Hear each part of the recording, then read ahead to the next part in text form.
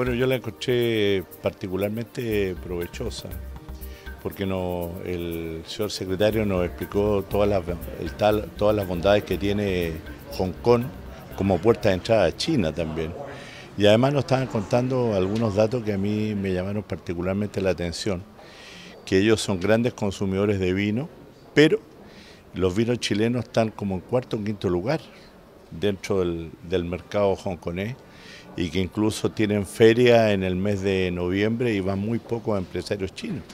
Entonces yo creo que ahí hay un trabajo que hacer de la misma forma que le planteé que era, creo yo, importante que a través de las autoridades políticas de Hong Kong y también de la autoridad económica y empresarios, ellos se pudieran relacionar con regiones chilenas donde hubieran temas que son de interés de ellos, como por ejemplo el vino y la fruta. Son temas que quedaron en, carpeta eh, y que ellos sin duda los van a analizar, pero yo creo que fue una una reunión que yo asistí con mucho gusto, me, la habían solicitado y creo que fue muy positiva.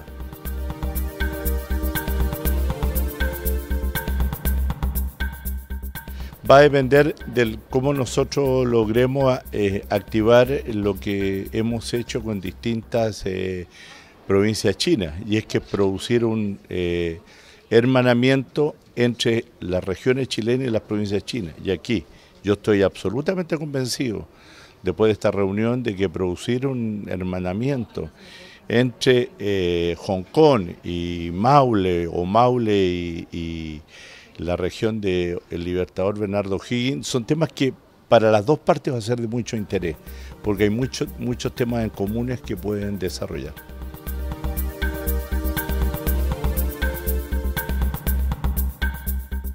Sin duda, más que en el, no, no, solo con el grupo de amistad, sino con el Comité de Diálogo Político.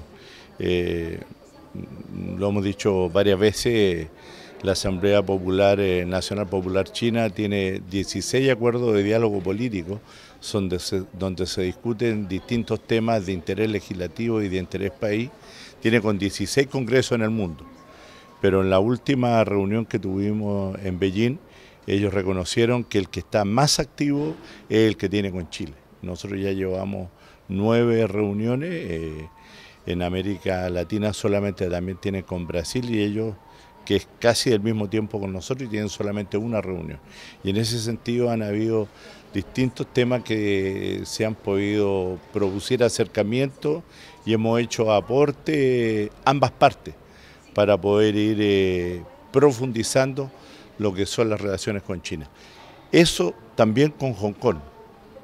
Yo creo que ellos tienen un, régimen distinto, pero creo que con ellos podemos también eh, producir eh, algunos acercamientos y ahora va a depender eh, de la parte hongkonesa. Por nuestra parte estamos disponibles.